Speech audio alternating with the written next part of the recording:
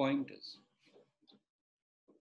This session, we would like to discuss a little advanced topic. This is pointers. So especially in C programming, uh, the pointers heavily used. You have to learn how to handle those pointers and the applications.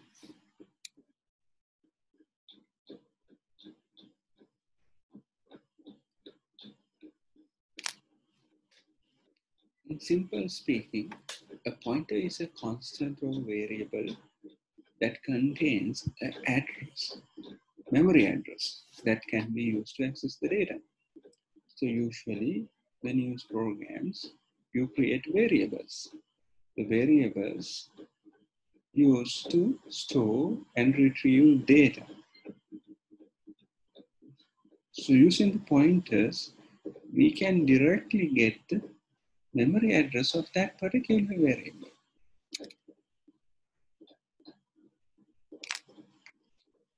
So in the pointer operations in C programming language, we use two special character symbols. So ampersand signs, when you put this ampersand sign in front of any variable in C, the address of that particular variable will be returned. So we already know about it. So especially when you use scanf function to read the data into a variable, we pass the address to the scanf functions. We will learn how, why we need to pass the address in, in a minute. So how do you get the address of variable using this ampersand sign? Similarly, there is a variable called as pointers. In this pointer variable, we are storing the addresses. So if we have a pointer variable, using this star sign, we can, we can get the value stored in this address. How do you define the data? How do you declare and define the pointer data? Actually using this star symbol. So the usually you know when you create a data, we have data declaration. There we put the type, so like integers, characters, and so on, and the variable name that is called as identifier. Identifier. Similarly, we can declare a pointer variable. So when you want to declare a pointer variable, we have to put the type of that variable and then star. And then we write identifier. So any type with the star will create a pointer of this particular type. So for example, character A will create a memory location to store characters in the memory. So character star will create a pointer variable in memory. So in that pointer uh, location, we can store the address of the character. So, so int n will create a place in the memory to store the integers. Int star q will create a place in the memory to store the address of integers. Same for the float float x will create a location to store floating point numbers. Float star r will create a variable called r in the memory that is a pointer variable. That location we can store the address of floating point numbers.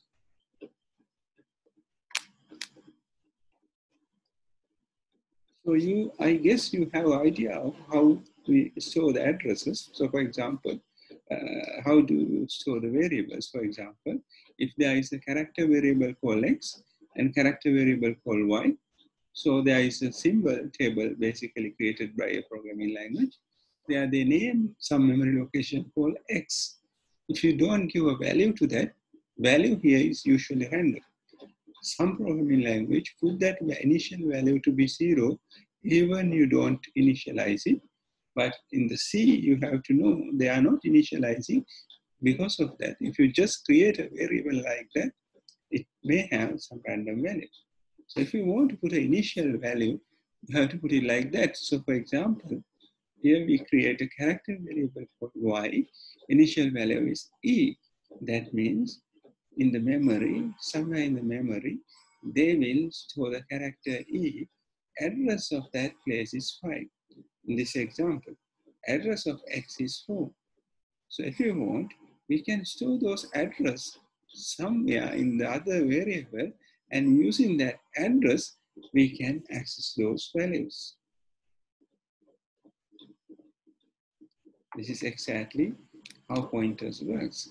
So for example, so using this ampersand sign, we get the address of, ampersand sign refers as address of reference operator. That means putting this ampersand sign in front of any variable name, we can get the address of that particular variable. The star symbol, call it as memory act or dereference. This is a dereference operator that's usually refers as memory act. So when you put at star sign in front of any pointer variable, so we will get the content of that particular memory.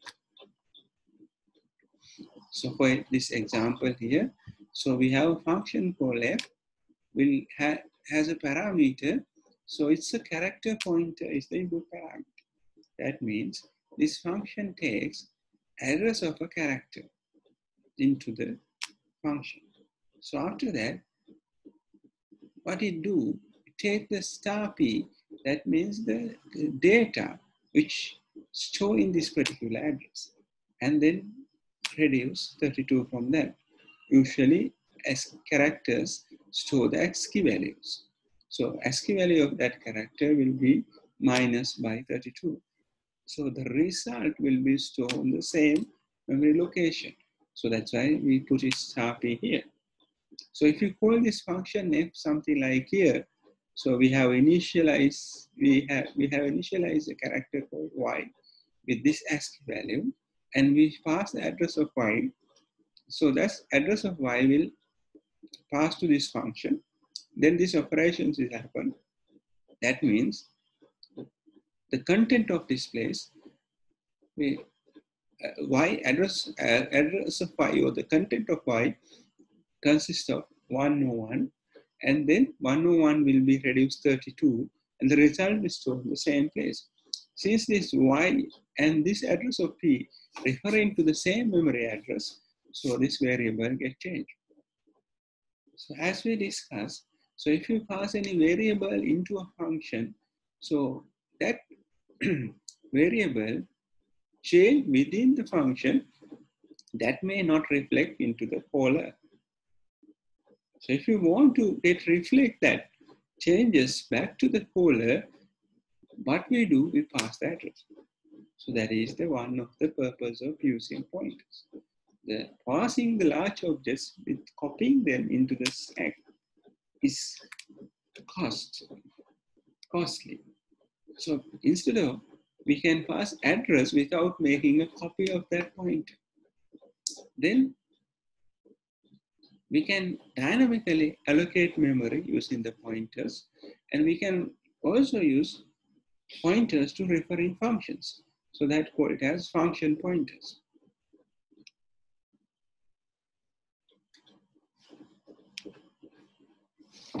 Let's take some example to understand what happens when we use pointers. So definitely, I will create a separate video which demonstrate that. Uh, let's see this simple C function. It has the main function and it, it, it, it declares two variable called A and B. We are not initializing it here.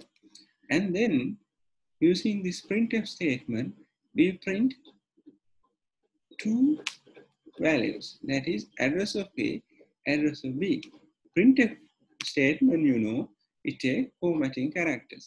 So percentage D for integers, percentage F for floating point numbers, you know, percentage C for characters. Similarly, percentage P is the formatting character for memory addresses. So if you put percentage P and ask the system to put print the memory address, it will print the memory address on the terminal. Ampersand A will return the address of A.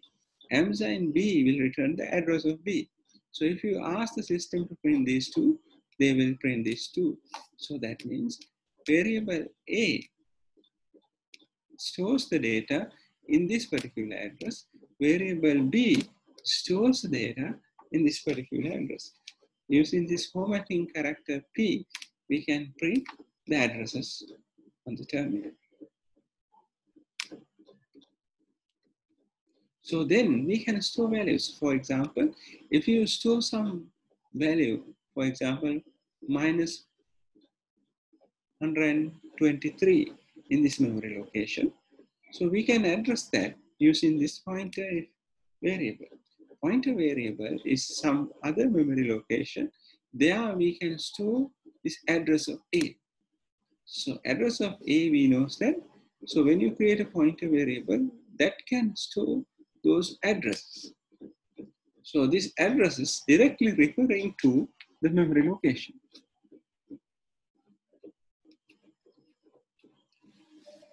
So we can have any number of pointers created referring to the same location. Plus, we could uh, kind of uh, vice versa. So value of p.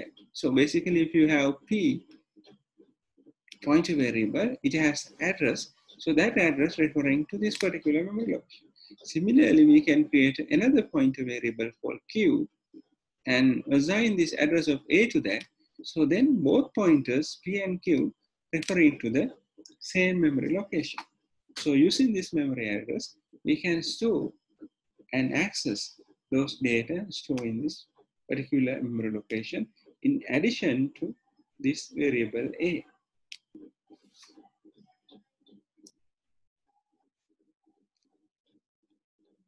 So in order to demonstrate that, we can run this program and see what's happened later on. So there what's happened there is a variable, integer variable called a, and integer pointer variable called p.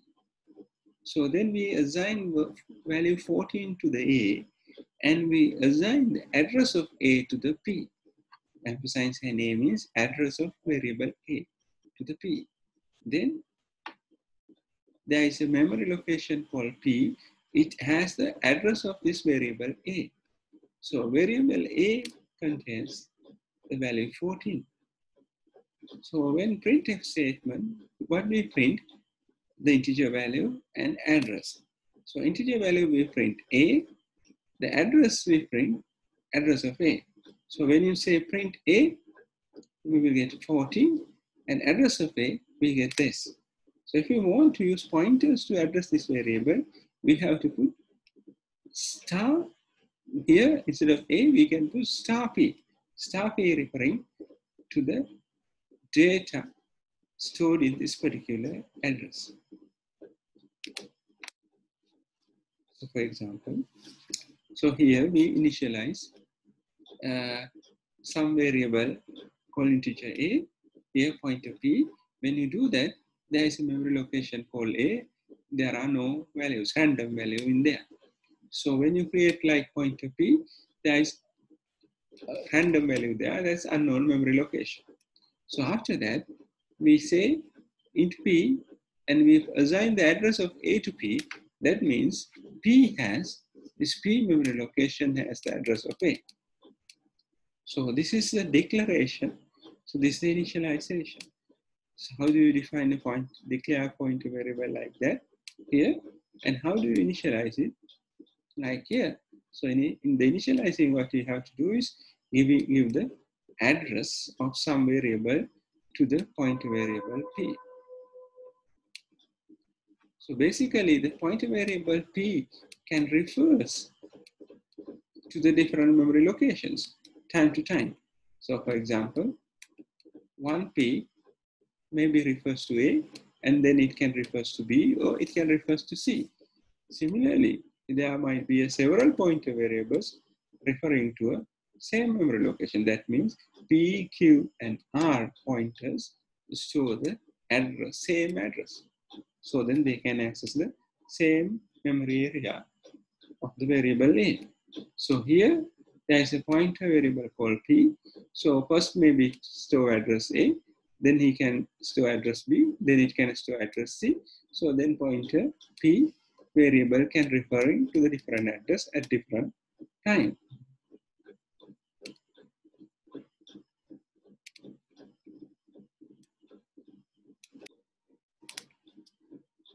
Right. Now let's see some example. In this example, what I would like to show you some application of pointers. So usually, as I mentioned, when you pass a variable to a function, and so what's happened? So the copy of a variable will put it into the local or the stack of this function. So then if we do any changes within the function, that may not reflect back to the call. So let's say we want to write a function called swap. So it take two integer values and swap them together. That means the value of x will, should be given to y, value of y should be given to x. So if you just pass these two variables to these swap functions and then exchange them, that exchange may not reflect to the caller. So because of that, just passing the variable name may not work in this swap function. So, so if you want to write a swap function in C, so we, we have to use pointers. So for example, here I create a swap function which take integer star x, integer star y. Star refers to the pointer. So I'm creating two variables called x and y. They are integer pointers. So then what's happened? Inside the program, I'm creating an integer called p and value of x will be assigned to p. When you put star x, x is the address, you know. So when you put star in front of address, so then, so system will go to this particular memory address and then take that value in this memory address. So that value we assign to the temporary variable called p, integer variable called p. So after that, what we do, we take the star y, that means the value of this address y, and assign to the value place of address x. Star x referring to the address x. So then what's happened? The memory location of x we copy the value memory location of y to the memory location of x. So after that, the value we temporarily store on the variable p will assign to the y. So then x and y value gets exchanged. So in this main method, so you see I'm creating x and y. These are integer variables. So these x and y and these x and y are two different. So this x and y refers to this main function. So this referring to this sub function, right? So in the main function, it calls the swap. So when you call in the swap, we pass the address of x and address of y. So these addresses will go into this swap function. And using this address, we directly access this particular location and exchange the data. Because of that, the change we did here affect to the caller or the main function. So that means these two variable gets interchange or the sum.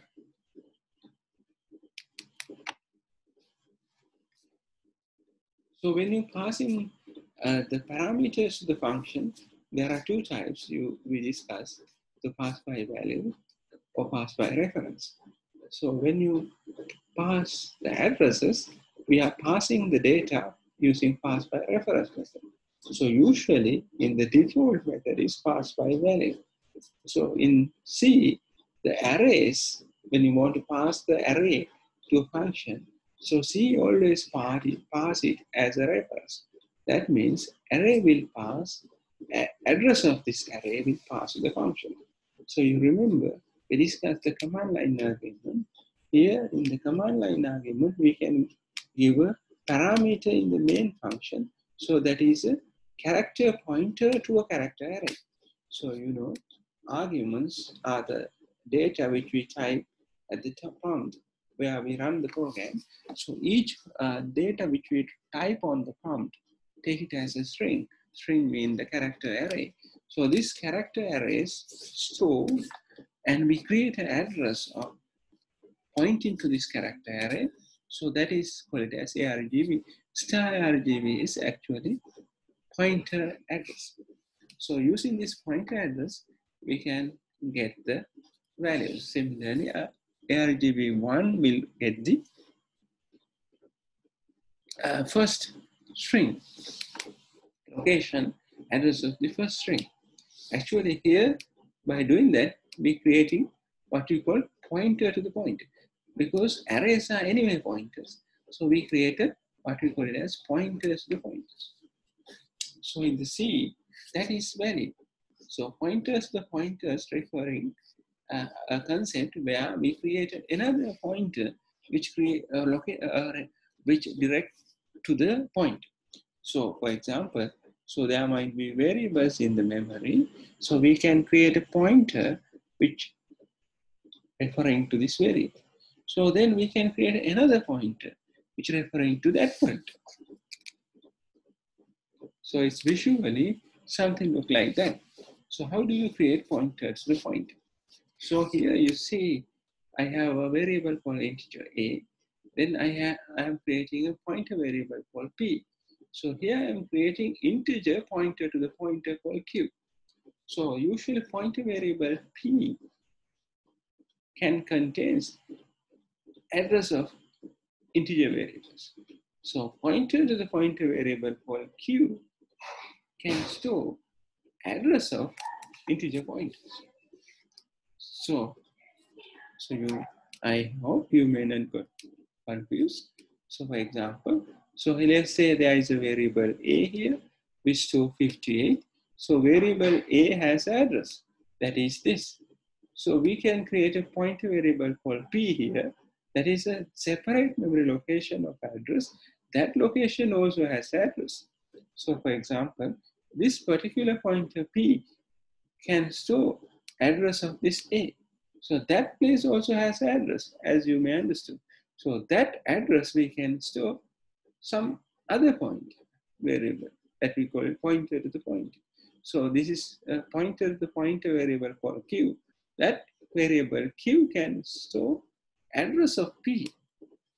So that's how it happens in the code. So we have a variable A which initialized to 58.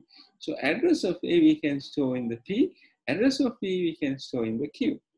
So if you want to get the value using those two A, P, Q, so that's how we do.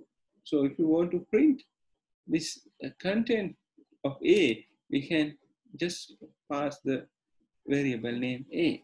If you want to access the same content using this pointer variable called P, so we have to put star and P, that referring to the same memory location. So if you use want to use pointer to the pointer variable to access this memory location, then you have to put two stars. Two stars Q mean go to this reference and then go to the variable. So it's visually something like that. We have the variable A, the pointer P will referring to that. So we have another variable Q, which referring to the Q. Similarly, if you want, we can create a pointer to the pointer to the pointer variable as well.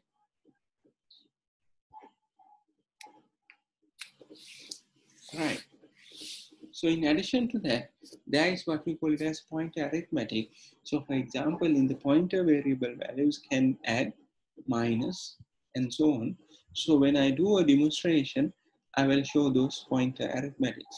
So the other interesting part of the pointer is a function pointer. So similarly, so we are using pointers to directly accessing variables. Similarly, we can use the pointers to the directly access functions. So that's called it as function pointers. So for example, here we create a function pointer. So in this program has a main method. So we here create a function pointer So name of that is function ptr.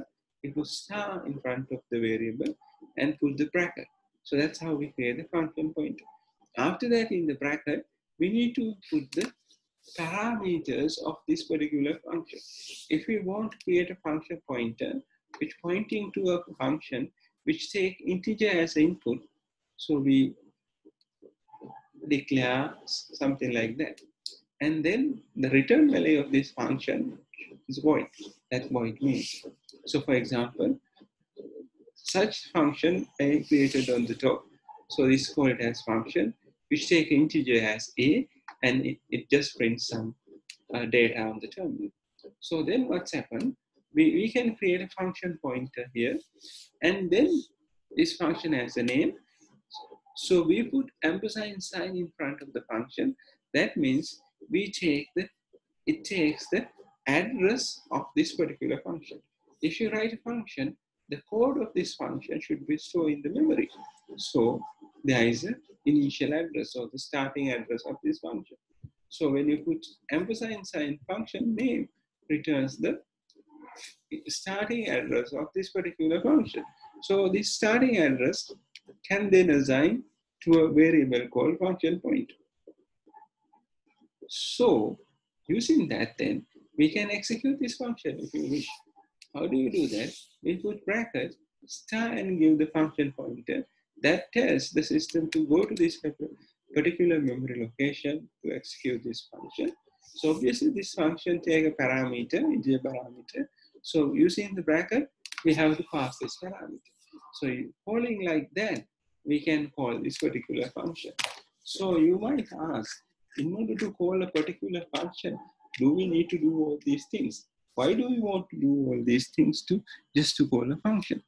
Let's take an example to understand the uh, usefulness of this concept. So here, so I, I create a variable called main. It takes create three integer variables, uh, function called main. In this main function, you see I'm uh, initializing uh, three integer variables. They are x, a, and b. So after that, you see, I create a function point. So this function pointer re uh, referring to a function which return an integer value. So here we put int. That means this particular function returns the integer value. So this point function pointer name is p. Identifier of this function pointer is p. Then after that, we put the brackets and then test input parameter of this function. So this particular function will take two integers. So for example, after that, so you see I do some comparison. I will show what it is in the demo. And then I call this uh, function which I'm referring to. So in this if conditions, you see this function pointer p, I get the address of f1 to this function pointer p. Then else I get the address of function 2. That means there are two functions in my program called f1 and f2 this, which match this prototype. That means there is a function called f1 which take two integers and return integer. Then there is a function called f2 which takes two integers and input and return an integer as output. So, so such function addresses can store in the function pointer p. The usefulness of that is using that function pointer p, we can call so function f1 or function f2 based on some condition. So for example, there is a condition here. Based on that condition, we, we assign the address of f1 or address of f2 to p. So then we can call star p with the two parameters a and b here so then, so which function calls depend on the address we store on this function pointer. So if in this loop time, if that function pointer p has the address of function f1, so this call will call the function f1. At that time, this function p, a function pointer p, has the address of f2, so this call will create the function f2. So like that, we can pick which function to execute based on some conditions. So then obviously I print the results of that.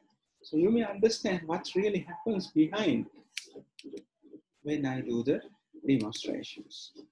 Okay, so that's all about pointers. So when you write programs, especially with the pointers, it's really hard to debug.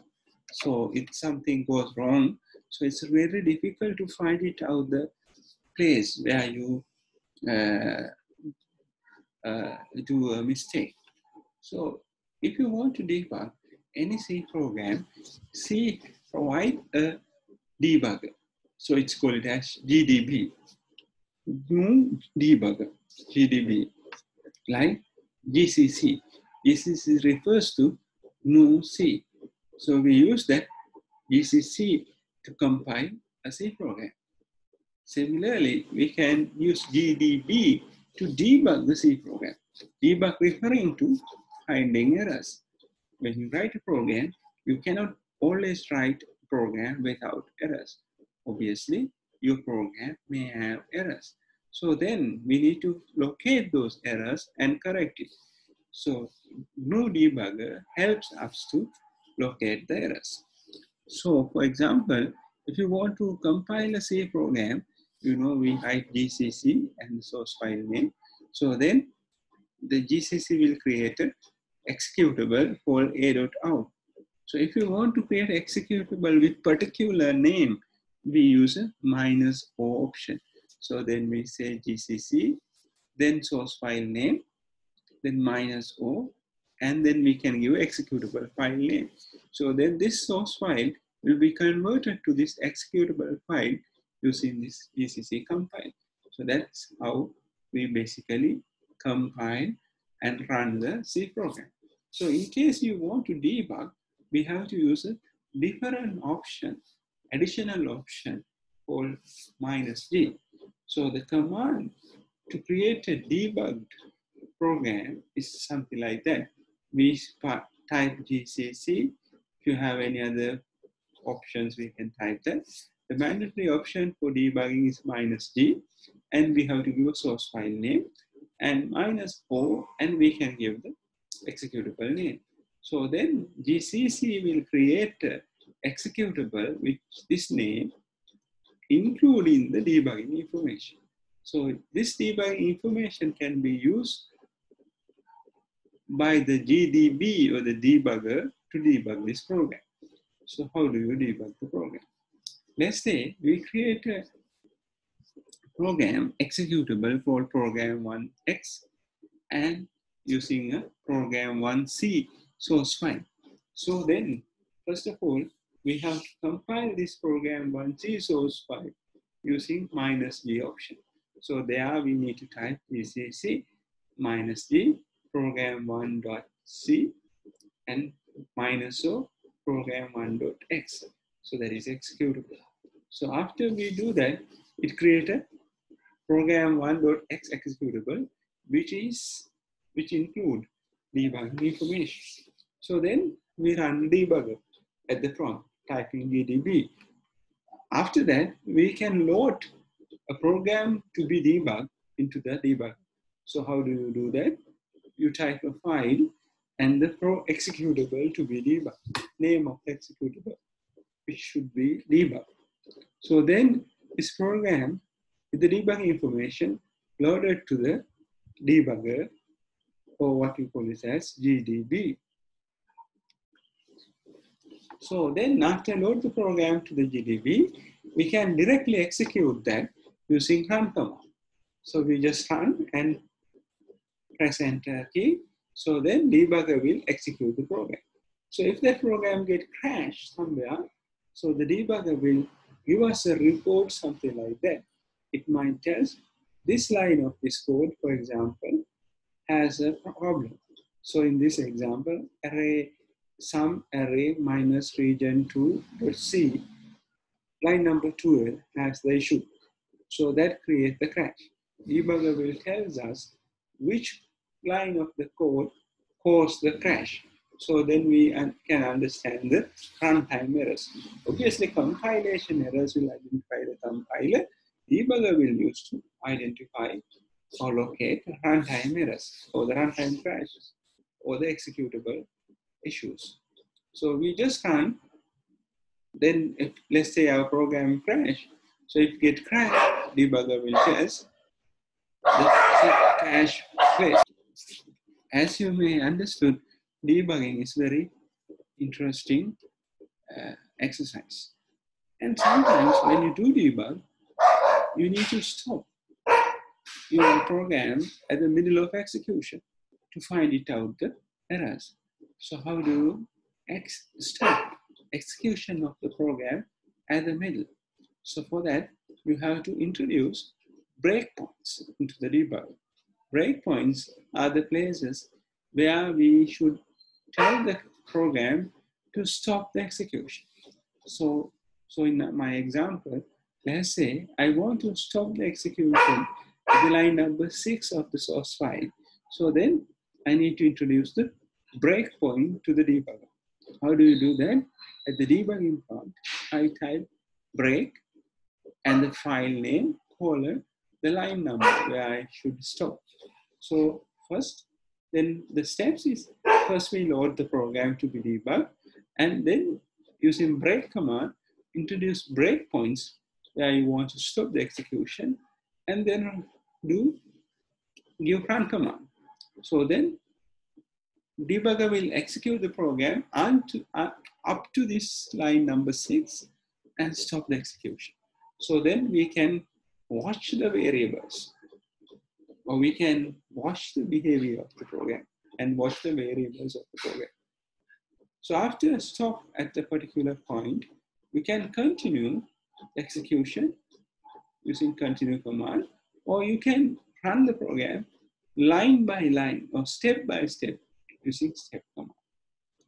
So what you do in the debugging process, usually what we do, we introduce a breakpoint, stop the execution there, and we watch the variables, values of the variables to understand the reason of crashing. And after that, we can continue. Or we can continue step by step to locate the error. So obviously, after your execution, stop at somewhere. So we need to know the values of particular variable at that time. So that's how we can get the information or the reason for crashing. So if you want to observe the value of the variable at the breaking point, you can use a command called print. So after debug stop your execution at the breakpoint, you type print and the variable name where you want to see the value. So it then print the uh, content of this particular variable. So similarly, there is a command called watch. Two important commands to observe the variable behaviors. One is to print and get the value. Other one is to watch. So after your program execution, stop at the breakpoint, you can use watch and give the variable name. Then what happens? So any time that variable get modified, old value and the new value will be printed on the terminal. So if sometimes without your knowledge, due to some side effects, some variable may get changed. So using these watch commands, you can identify the places where a particular variable get changed. That is very useful in debugging the program. Like that, GNU Debugger has several useful commands. So one called break trace, which, which says about the uh, segmentation pause occurs of the functions, occurs at the functions. And then there is a command called where can think of this function as work it works similar to this backtrace and there is a function called finish so if, especially if you're going to or debugging through a function you perhaps you want to execute entire function and return to a caller so then use the function finish And then you can use delete to delete the breakpoints you introduce. And then you can get information about breakpoints like that. There are so many useful functions, uh, commands available in, in, with the GDB or the GNU debugger. So when you start writing serious programs, and when you start developing new algorithms using C, GDB will be very useful because sometimes, especially when you write recursive functions like that, so sometimes your program may get crashed. So you may feel very difficult to identify reason for crashing. So there, the debugger will help you. With that, I would like to conclude this session. In this session, I discuss briefly on memory pointers, the pointers, and different pointer types, variable pointers, fun, function pointers, and the idea of using these pointers, why we need these pointers, and so on. So then I discuss about GNU debugger, especially when you use pointers, you may face issues of crashing due to the wrong kind of due to the uh, usage of those pointers. If you don't use these pointers properly, your program will crash. So then you need to identify where it get crashed to correct it. So for that, so GDB or the debugger is very useful. So because of that, I had discussed the debugger as well. With that, I have concluded this lecture series with fundamentals. So now we need to learn advanced things like different data structures, uh, how to access files, how to create network connections, network suffers, and so on, advanced things. Right. So until we start learning that. So thank you very much for listening so far, or following so far with this interesting course, programming and problem solving.